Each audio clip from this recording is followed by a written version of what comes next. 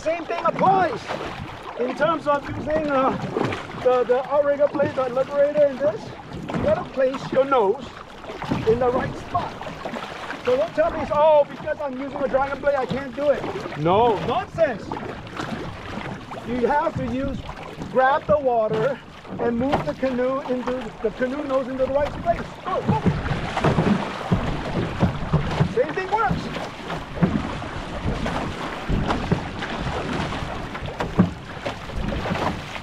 Now I will say, the dragon boat blade doesn't grab as hard as the concave liberator because, like I said, flat blades are easier to let the water go. But technically, you can.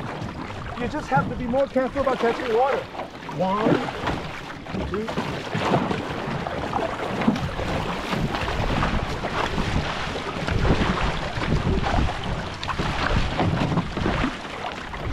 It's very easy to cavitate a dragon boat blade. Look. Oh.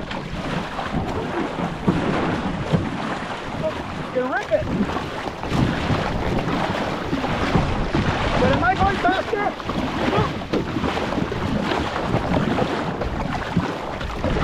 No, not really. You're going against the current. So, learn to feel your blade. Learn to feel your dragon boat blade. Not for practice, but for your own tactile ability.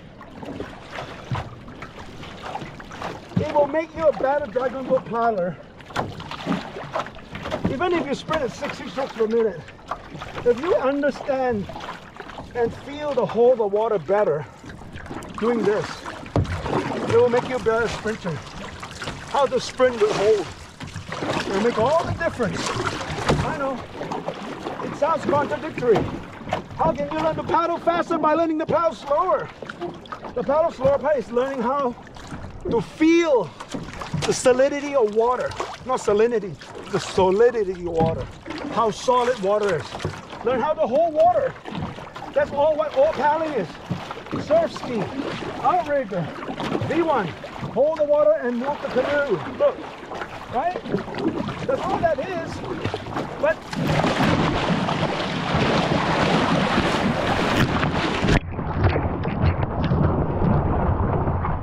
yes, you can burn a lot of calories like that. Nothing wrong with that.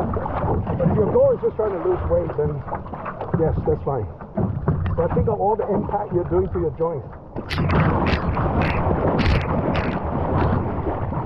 Of course, I'm exa- exaggerating, but pretty much when it balls out surfing, uh, uh, sprinting, you tend to forget your form, you forget your, the water feel, you just hit it hard. Been warning against this a long time. It's too bad I see so many Dragon Boat powers have shoulder surgery. You follow it. Do you like this? Share this. Share your friends who are killing it. Hope they don't destroy themselves. Aloha. And today's uh what I call Dragon Boat surfing video. Sounds funny. Is dedicated to Jenny, one of uh, my followers who's been asking me very carefully about what to do with her technique stuff as she recovers from surgery of her shoulders. You know, from uh, inappropriate coaching or whatever. And I hope this helps. Do this, keep this in mind, and share with your friends. Aloha.